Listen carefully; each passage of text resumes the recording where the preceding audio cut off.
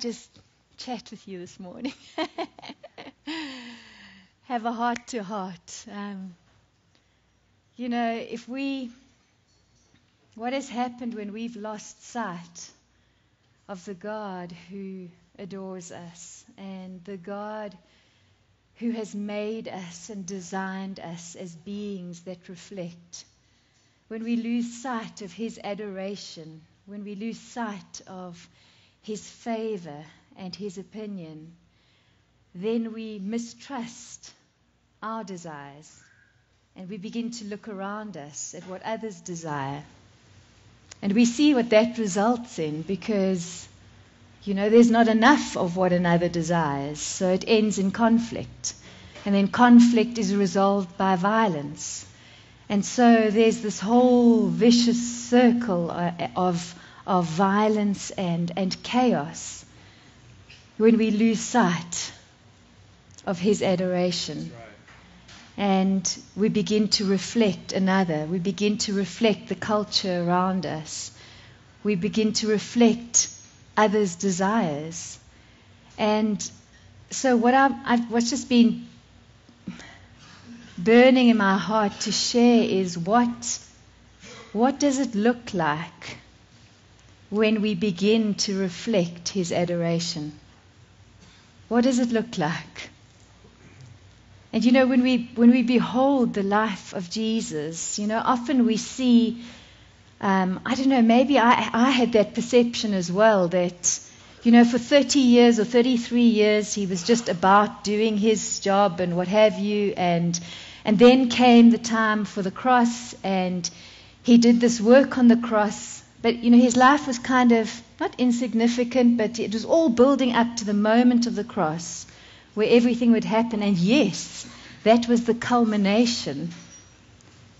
But we forget that the life that he lived was one that was lived, as Rolf was saying this morning, as one who I do not speak unless I hear. I do not act unless I see. And his life was lived in that adoration of his Father, in an awareness of his sonship, in an awareness that I am favored, in an awareness that I am loved, that his adoration, that the Father's love defines who I am. And so at every point he refused to reflect his culture he refused to reflect the opinions of others. And so we see all over, um, we see, I mentioned the passage yesterday about the woman caught in the act of adultery. You know, here's an opportunity where the mob has gathered around. And, and this has been our method of dealing with, well, you are wrong, I'm right.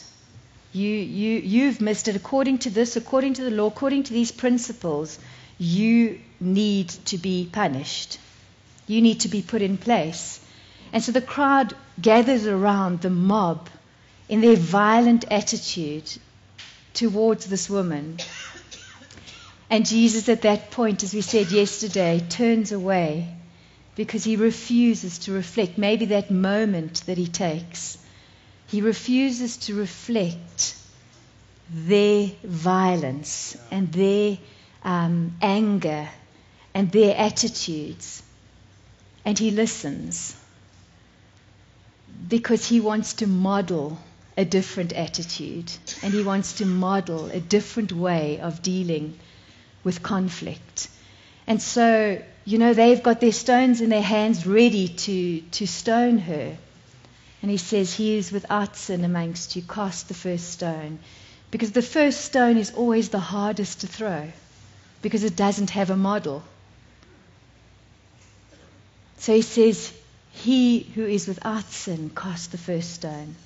And one by one they drop their stones.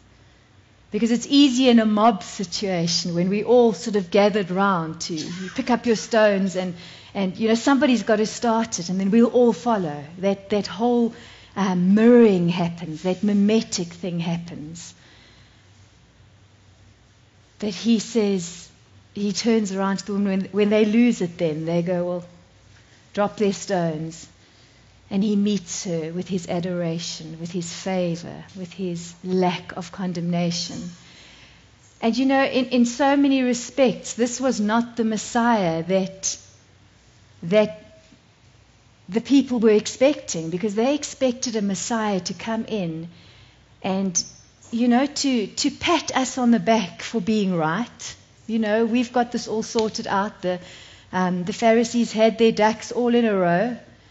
And so the Messiah is going to come and he's going to affirm that our belief system is right. Because we have, we have a law that says if you are wrong, if you don't act according to these principles, well, then this is what needs to happen to you. And he comes as a Messiah who doesn't come in to enforce his justice and to enforce his kingship, but he comes as one who serves, as one who loves. And, you know, this was offensive. It was offensive to the Pharisees because surely, you know, we've, and, and when, I, when we say the Pharisees, we, we, we all clumped in the same bundle of, of that attitude of, you know, I'm right and you're wrong. And, and let me see if I can try and adjust your thinking. Um, but, he, but he comes with a completely different attitude, with an attitude that just wants to value and love. And he's the one then that goes down and he washes his disciples' feet. I mean, that is not the picture of a Messiah that, that I think they had. This, this, this Messiah that comes and serves, that comes and does not regard his equality with God as something to be grasped, but he lays himself down and he serves and he loves and he notices people. He's the one who hangs out with the the wine. I mean, he wouldn't have been called a wine bibber and a glutton if he wasn't around those people. He was. He was hanging out with those that were outcasts, outcasts of society, because he saw something about them. And he wanted to draw out that value and that appreciation in them. So, what does it look like when we begin to reflect the one whose adoration we are designed for? We are designed to mirror him, to reflect him it, it gives a very different picture, a very different picture of who he is. And um, if we just open to 1, 1 John 1.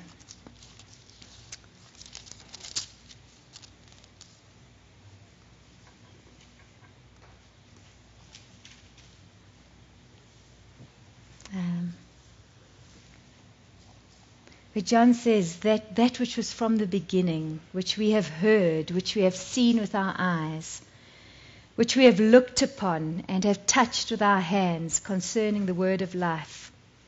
The life was made manifest, and we have seen it and testified to it and proclaim to you this eternal life which was with the Father and was made manifest to us. There's something that John sees here where he, he says that which which we have heard, but hearing is not enough. That which we have seen, and then we've looked upon, and then our hands have handled. He desires for this, when we see this image, when we see the one who, who we are designed to reflect, when we see his adoration, when we see his love, when we get a glimpse of what is happening in the Father, he doesn't want us to just observe, He wants us to see it, to look upon it, to handle it, to touch it, that it would become a tangible experience. And uh, in, in reading this passage, the, um, a few months ago, we were watching a, a movie. And um, I can't even remember what the name of the movie was or pretty much what it was about. But I remember sitting there, and there was a moment where it was supposed to be a comedy. And um, at, at one point, I think this is off.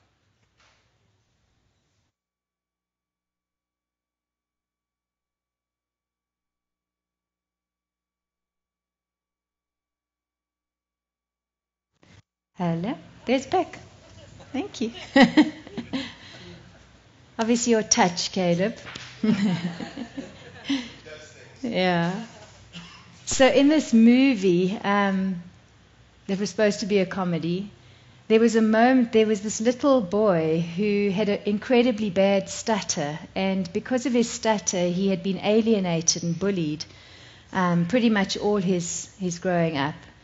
And um, with the result, he had such an inferiority complex and um, would just withdraw at, at any given chance. Um, and what happens is his grandfather sits with him the one day, and his grandfather's a sports commentator, and he sits him down and he wants to play him a recording of um, a baseball match that happened, I think, I'm not sure exactly what year it was. I think it was in the 50s.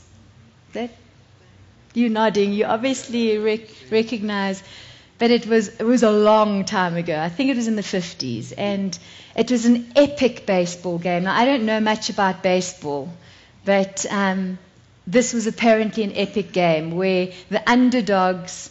Um, you know, at the last minute, they, they snatch the, the trophy, they snatch the victory. And so his grandfather plays him this recording, and it's a, a, radio recording, and you can hear the crackle, the old, old recording. And, um, and as it plays, what, what, what's happening in this moment is his grandfather says to him, You know, this, this is the match that caused me to find my voice. And and to take up my career as a commentator. And as this little boy sits down with him, Granddad says, Shut your eyes, now just listen.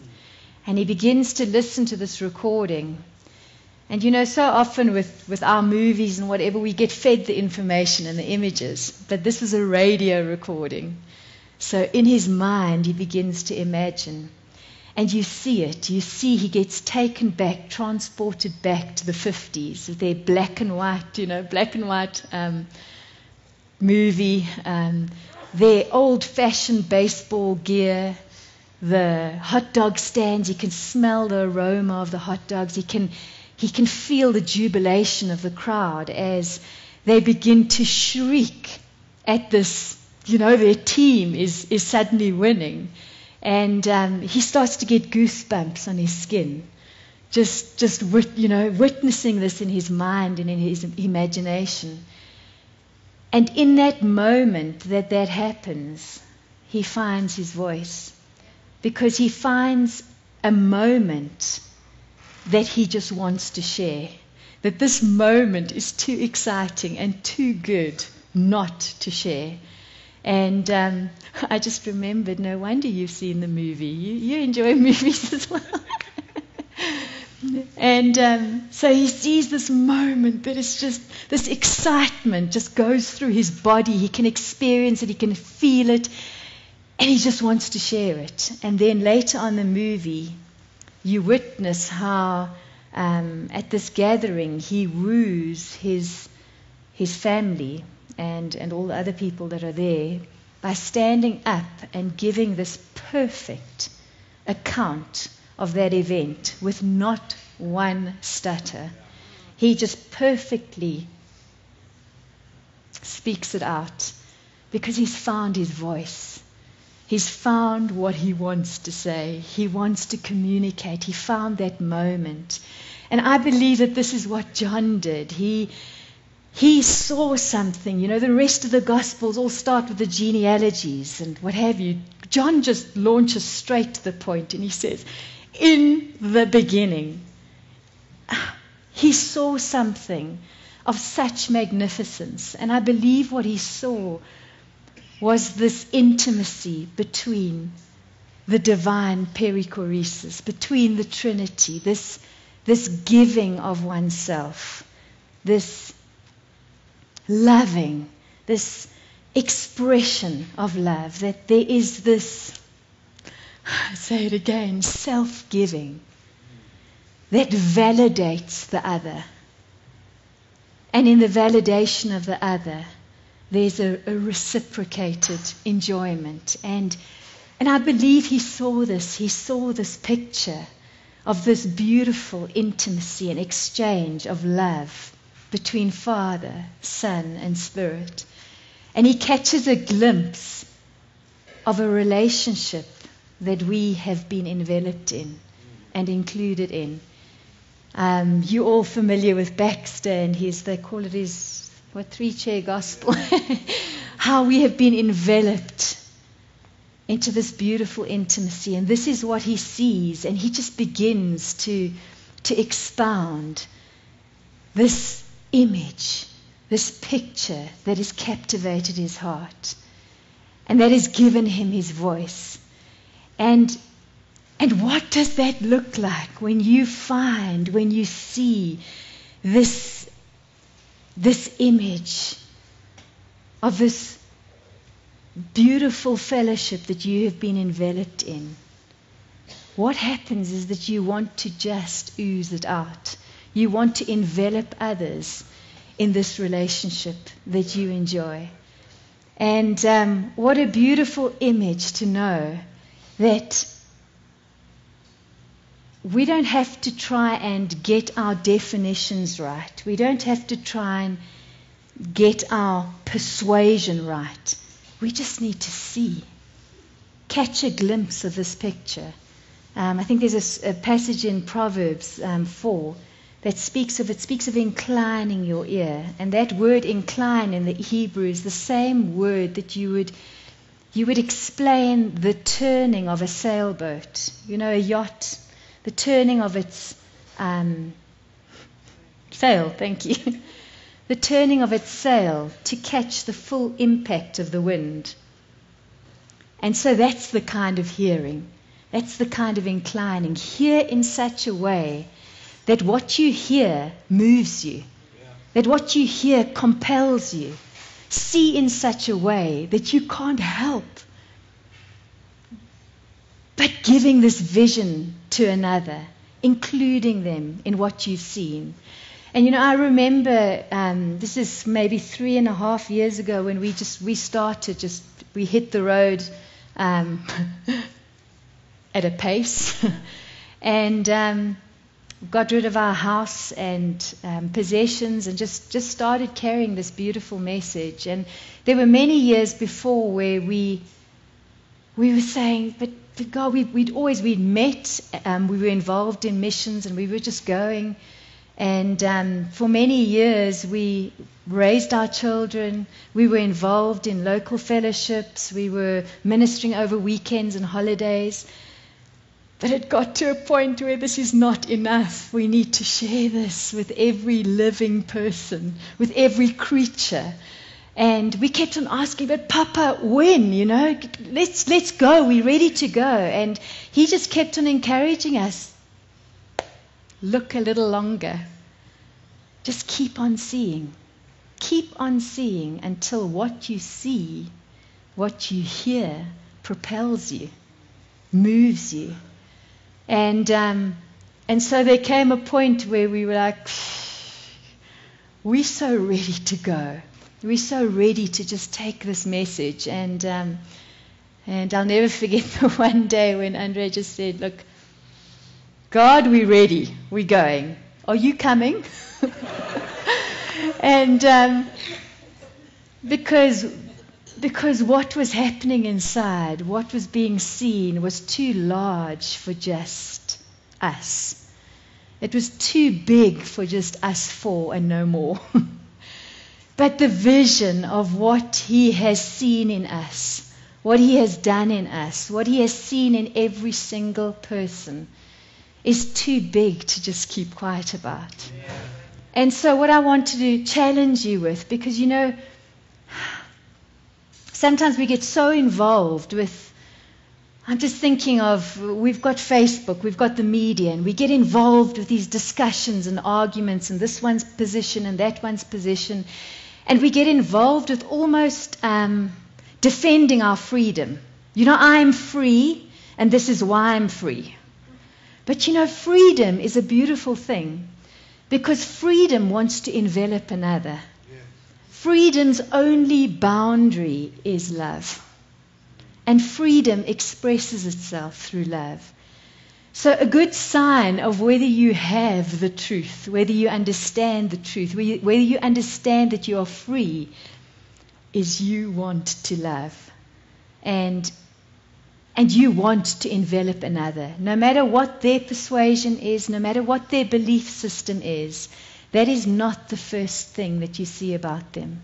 The first thing that you see is you too are loved. You too are included. What do you do when you see somebody who has a different belief system to yourself? Pick them. Um, Hindu, Muslim, whatever the belief system is.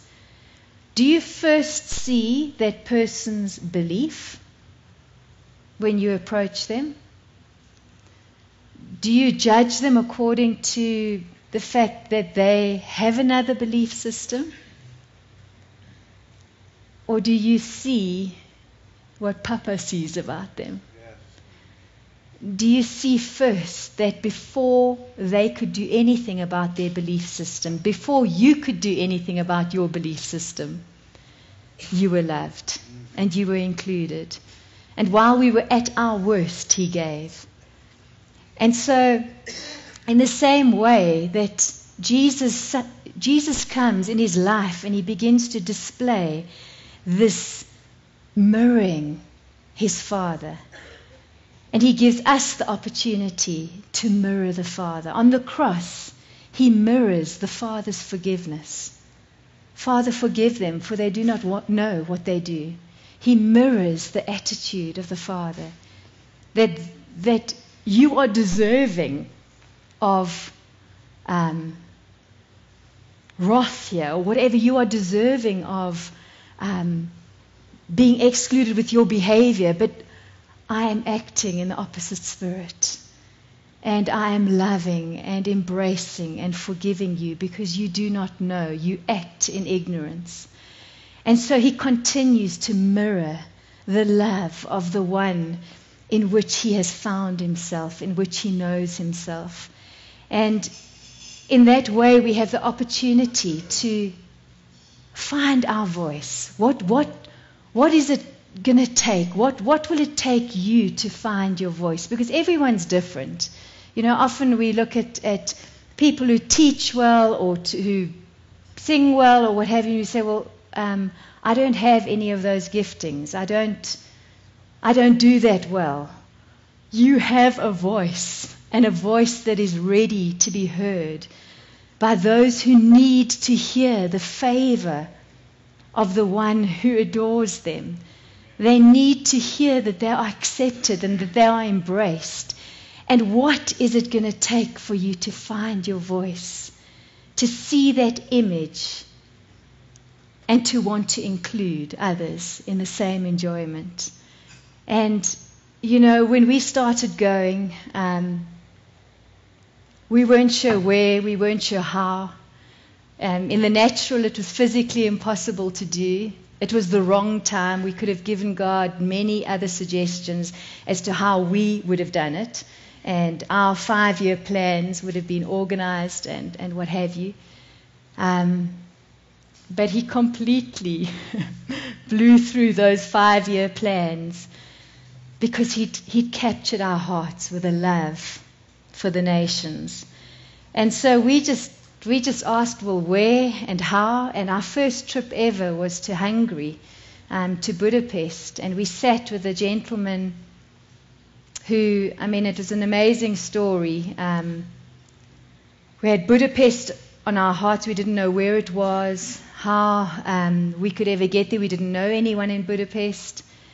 And Andre receives an email from a chap, I think the same day or a few days later, saying, I'm in Budapest. Um, I want the latest copy of your book, Imagine. Um, how do I get hold of it? And Andre just wrote back to him and said, What are you doing on Saturday? We're coming. And um, so we came through, we went through to Budapest and we sat down with our now friend and we just began to to chat with him. And he was very nervous with us coming because he didn't have any opportunities, he didn't have a church for us to speak in. he, it was just him in a coffee shop. And we sat down with him and we began to share the favor that we have encountered, the value that we have encountered. And his smile just began to grow, and he was beaming and beaming. We spent about four to six hours in the coffee shop. But in that conversation, he, he just exploded with value, with understanding this, this beautiful God that is embraced, that is loved. And so, what happened, we, we went back to Hungary probably about six or seven times um, after that and just had an amazing time. Doors were opened. Because in this encounter, what he had seen was that there are no boundaries between us and the other, that I can give of myself to the other. And so he opened opportunities for us in the, the most random places, in, in churches, in small groups. In I think we did one meeting in a, a monastery. We, he got us into a maximum security prison, and um, and we and we went and ministered there. To, we were the first foreigners to minister in this prison. Um, maximum security, really Shawshank Redemption stuff. Um, that kind of thing. And we went in there and um, just loved on the inmates. Had an absolutely amazing time, but won't go into that. But what happened after that was just incredible because, and he was sitting there having his hair cut, and he begins to speak um, to the barber who's cutting his hair. And he begins to share with him about our experience in the prison. And the barber just at one point says, Well, why on earth would you go and minister to those people? I mean, maximum security, there, it's death row for them. They have done horrible things. Why would you waste your time on those people? And so he begins to explain to him about the value of man, about what the Father sees in us, and that a lost coin, though it's lost, it never loses its value. And so he begins to share this with the barber, and as he's sharing, he notices the guy on the one side of him is listening intently. And there's another guy on the other side, and he starts listening as well. And eventually, after he's had his hair cut, the guy on the left approaches him and says to him, Listen, is what you're saying true about me? And he says, I'm convinced this is true about you. He says, I'm going to ask you this again. Just hold on. And he goes to his car and he fetches a photo album. And he comes and he brings it to our friend. And he says, I want to show you something, and then you tell me if this is still true about me. And he begins to show him in this photo album the most horrendous um, photos, the most horrendous crimes. And it turns out that he's the mafia boss in the area. And so he says again, Is what you saying true about me? And he begins to give him a reference that is way bigger than the warped image that this man has walked in. Because let's take it aside, let's take it to human history. We have a history of a revolving fear and anger and violence, of the way that we sort things out. And we are just as much victims of our society. And so after he's, after he said this to our friend, he says, um, Well, if this is true about me, then you have got to come and talk to my family.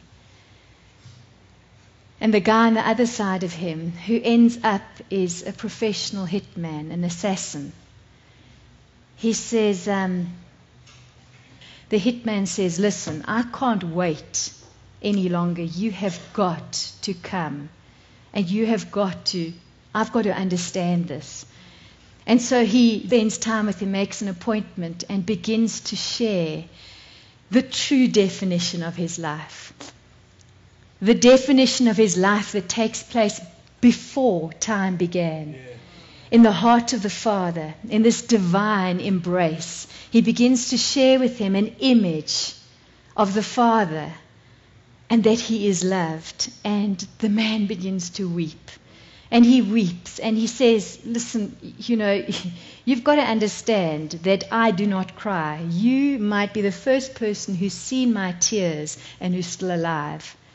I mean, this is a rough guy. He started his career at the age of 17 as taking people out, and he's hardened, he's bitter, and he begins to weep at the understanding of his value. And that supersedes any image that he's seen of himself. And he says, Look, you, we, you have got to come and talk to the prostitutes. And basically, they ran the brothels in the area. Um, and so you see this picture of he's discovered his value. Despite anything that he's done or believed, he's discovered, he's seen, he's take, got a glimpse of his value. What's the immediate thing that happens? He values those that they have abused and that they have used. And he says, You have got to come and share this value with these ladies. And they go together and, and they share. And again, he starts weeping, weeping in front of these, these ladies. This strong assassin, this hardened man begins to weep as he relays the message of the favor of God. And you know, it's when we spoke to our friend afterwards, he said, I could never, never, ever have, if you told me, right, now this week, you know, we've got our little um, principle of how we reach the lost and how many people we need to get into the kingdom. And so this week, you are going to be assigned a hitman, a mafia boss. He said he would have just fallen apart. How on earth, how on earth do you, you know, he, he would have just been trembling at the, the prospect of even sharing with these people. But when you encounter value, when you get a glimpse of your inclusion, in the one who has loved you from the very start. When you begin to understand that his embrace is the only thing that is qualified to define you. When you begin to see another image of the Father, you immediately see another image of yourself. And so it's this value. What, what happened with that afterwards as well is, and we were able to Skype with the, the guy with our friend. Um, and our friend actually, after that incident, actually left for another country. He was asked to go and um, teach there. And, and he was almost a little bit not anxious, but he, he just felt, you know, I've, I've just, this guy's so new to this understanding, and now I'm going to be leaving him. And the guy wrote him a letter and said, Please, my friend, do not worry about me. And he used a word which they would use in, in Hungarian. It's a term of endearment. He says, um, Was it little, little brother? Little brother is looking after me, he's with me. And what he did was, he said, I'm, I'm, going to find, I have to find another job because what had happened was, after he has this encounter with the love and the favor of God, he's got to go and perform a job in another country. He's got to go and take somebody out. And so he says to our friend, Well, what, what how am I supposed to go now and fulfill my obligations, fulfill my work? And our friend said, Well, you know, you, you have had an encounter with the favor of God. You have realized your value and in the same moment that every other person is valuable. And that is all I can leave with you. And so he goes. He goes to the other country. And um, the next day, our friend gets a call. And he says, I could not do it. He says, I, could, I couldn't even beat the guy up properly. How do you beat somebody up? You are valuable. You know? And so he seriously messed up that job, but fortunately, God was working in the heart of his boss. but he, he just said to our friend, Look, I have to find another job. And so um, the next thing we heard is that he'd left for another country to go and find an honest job where he could just, you know, make a living and, and live. But you know, if we encounter truly this favor and this understanding that,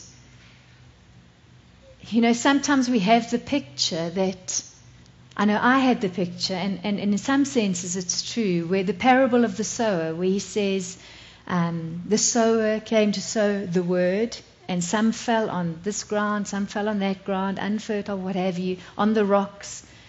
And we have this idea that, well, you know, we are the sowers going out to sow God into the world, but forgetting the fact that the Word is Jesus. It's related to Him. So the sower, the Father, sows His Son. And He sows Him lavishly. He sows Him on even unfertile soil. He sows him almost in our perspective carelessly. He just gives him, he lavishes him upon humanity, all of humanity. Whether it falls on the rocks, whether it, the stones, whether it falls on the infertile ground, whether even the birds come in and pick up that seed and we think this is the end. They have a way of going and fertilizing that seed elsewhere. I won't get into graphic detail. but even that which seems to be this is the end, there's no hope here. He has lavished his life and himself upon humanity. He's lavished himself in his fullness, almost what we would term carelessly. And now we have the opportunity to go and see, to go and partake, to go and um, partake of a harvest that has already been prepared. And so, if we see this value and we see this understanding, then we will, we will stop judging people according to their belief systems, whether they uh, are well, the bottom line is in or out. We'll stop judging them according to their appearances, and we'll see a value about them that will supersede anything that we can see in the natural. Another quick story of just another friend. There's so many beautiful illustrations um, of people just finding their voice in their community and going, well, you know, I've seen this and I'm excited, and I may not have an opportunity or a door open, but you know what? I'm just going to go and create an opportunity. I'm just going to go and love on people. I'm going to use whatever I have, whether it's art, whether it's whatever, and I'm just going to go and love on people. And another friend of ours in, um, not sure where he is, but in a very rough area, they chose to live there to just love on people. And so every day he would just go and he would just love on the people on the streets. He would just go and embrace them and just share with them their value.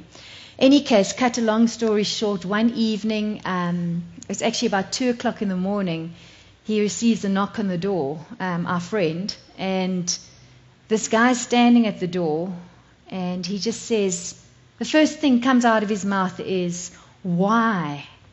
Why do you not give up on me? Why do you persist? And this is a guy who's, you know, really looks rough. He's as high as a kite.